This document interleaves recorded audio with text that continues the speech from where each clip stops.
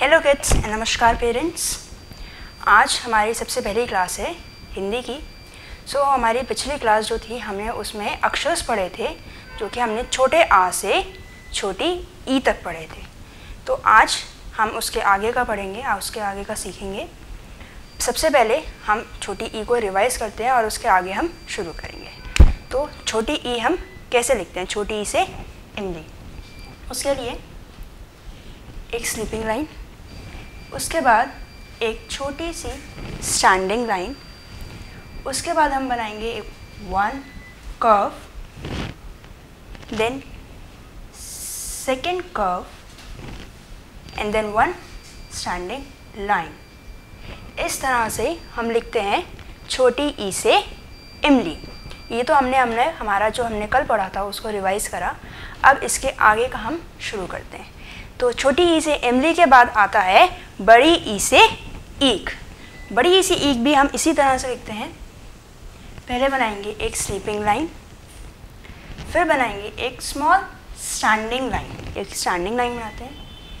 Then one curve और उसी के आगे से हम बनाते हैं एक सेकेंड कर्व लाइक दिस उसके बाद हम बनाएँगे लास्ट में वन एक स्मॉल स्टैंडिंग लाइन अब ये हो गया, इन दोनों में डिफरेंस क्या है? बड़ी ई e से ईक में ऊपर भी एक कर्व आता है। स्लीपिंग लाइन के ऊपर हम एक स्मॉल कर्व बनाएँगे। इस तरह से हम लिखते हैं बड़ी ई e से ईक ये हो गया।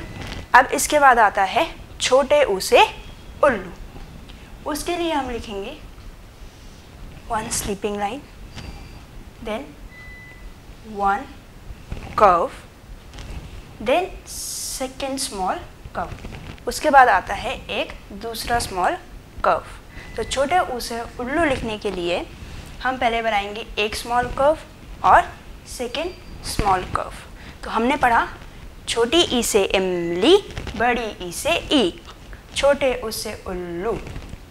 अब हमारा लास्ट आता है बड़े ऊ से ऊन. उसका हम कैसे लिखेंगे? Sleeping line one curve and second small curve. हमारा पहले हम एक कर्व बनाएँगे और उसके नीचे से एक और दूसरा कर्व बनाएँगे।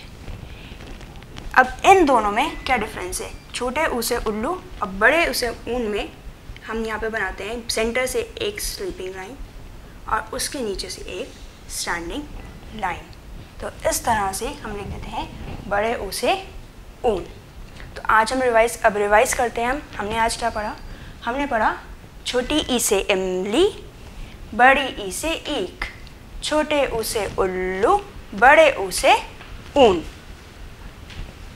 So kids practice this at home आप सब प्रैक्टिस करेंगे घर पे। हमने कैसे करा है?